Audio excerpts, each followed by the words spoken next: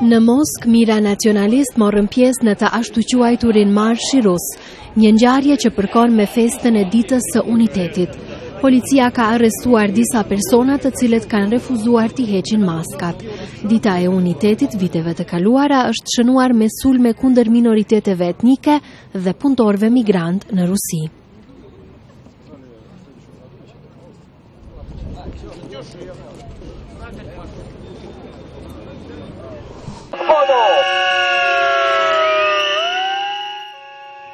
Në Sarajevë, qindra punëtorë të gjigantit të ndërtimit Hidrogradnja kanë protestuar para zyrave të qeverisë si rrjedhojë e mosmarrjes së pagave. Protestuesit kanë kërkuar dorëheqjen e kryeministrit dhe ministrit të industrisë për privatizimin e kompanisë së tyre.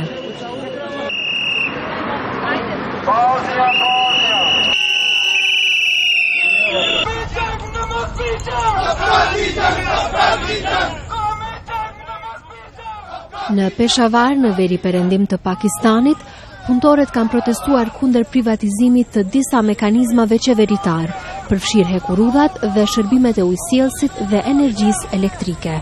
Zyrtarët pakistanezë po mundohen t'i privatizojnë këto shërbime, të cilat nuk po mund të përballen me shpenzimet e veta, si pasojë e problemeve të shumta, përfshirë të tilla që aludohet se lidhen me korrupsionin.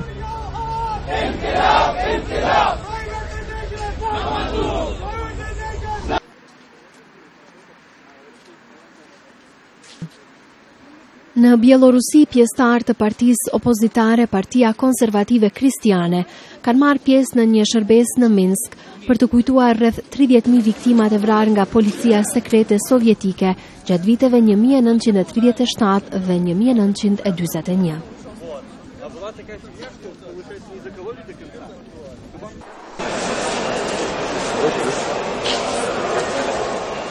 Në Kajro të Egjiptit janë shtuar masat e sigurisë nëpër metro, pasi autoritetet thanë se ka raportime për rritjen e mundësisë së sulmeve. Alarmi përkon me ditën e nisjes të procesit gjykues ndaj presidentit të rrëzuar Morsi dhe të tjerëve nga Vëllazëria Myslimane. Ishte kjo video përmbledhja e Radios Evropa e Lirë.